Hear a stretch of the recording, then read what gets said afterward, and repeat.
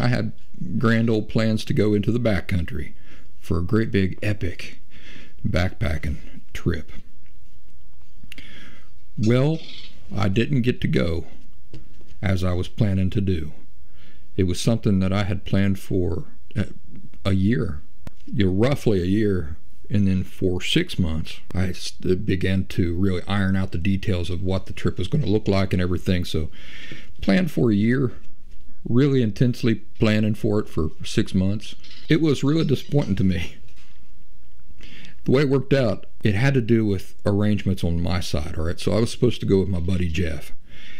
He's in the city, about an hour and a half, two hours north of me, waiting for me to come pick him up.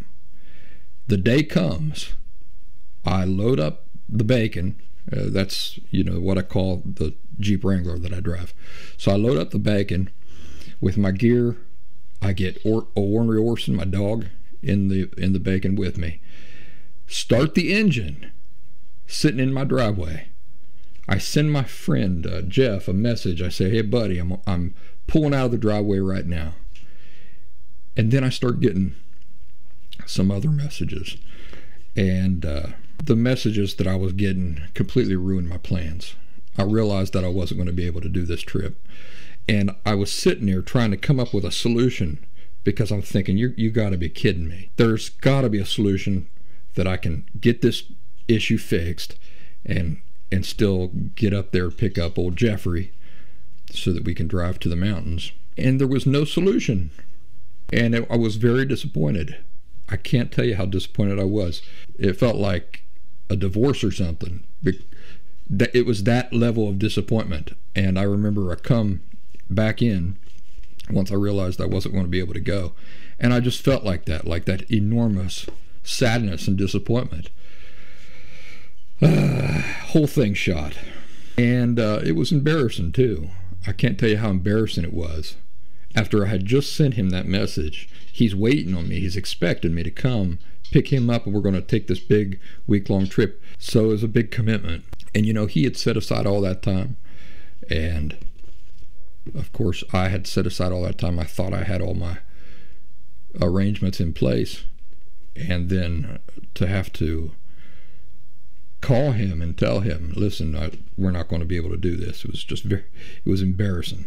It was really embarrassing. I felt terrible about it, having to cancel my plan, uh, the plans on my friend at the very last minute like that, who's waiting for me. So if you're curious about how I deal with this sort of disappointment, like I said, it was like somebody called and broke up with me. I sat around for a real long time uh, in the bacon in my driveway with the engine still running.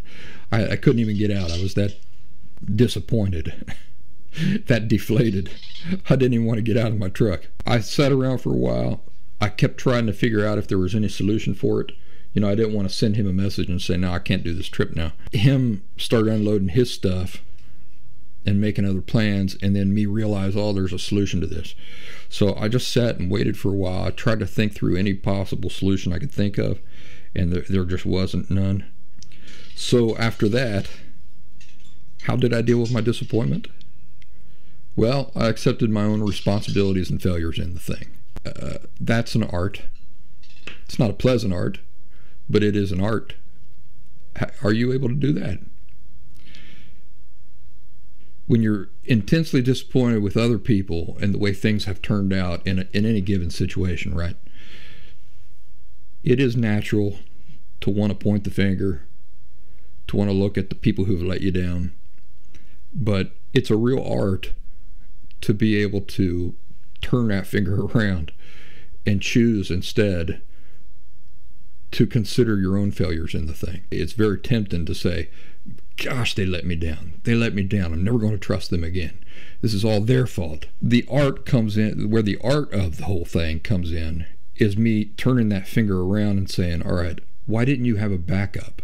Why didn't you uh, plan for that possibility? As tempting as it is to point the finger at at the people who let me down, it, I really let myself down, is what it is. So, you know, um, I learned from that this is a really nice life lesson for, for me, but also for you. Number one, resist the urge to point the finger at other people. Try to always point the finger at yourself first and uh, your own failures. What did you fail to do that could have made the situation different? I sat around for a short while, accepting my own responsibility and my own failures. Still felt like a breakup, and I was still very sad about it, but that's what it did. The fact is, is that there was more I could have done to ensure that things would go off without a hitch, and I just didn't live up to that. So then I sat around thinking about, well, what could I have done differently? What will I do differently in the future? Again, I resisted urges to point the finger at others. And I reminded myself that I'm an adult. I'm an adult free agent. Everything goes wrong in my life, it's up to me. Everything goes right in my life, I get to take credit for it. But it's not just a one way street there. Nobody else is responsible for my failures. So I had to sit and marinate in that for a little bit. How do you think that felt? to sit and marinate in the reality that nobody else is responsible for my failures. Well, it's not pleasant, but I'll tell you, reminds me of a saying I heard back when I was old in my 20s or something. I didn't understand it then, I understand it now. Uh, that children take pleasure in the pursuit of pleasure. Adults take pleasure in the fulfillment of responsibility. Well, you know, you can break that down and also say that adults take pleasure in the in, ex, in identifying what their true responsibilities are and accepting them, even if we fail at them. Because if you if you can do that, even if you fail at a responsibility, the beautiful thing about it is you can evaluate the situation and say, okay, well, how will I avoid that in the future? Right? It's a beautiful thing.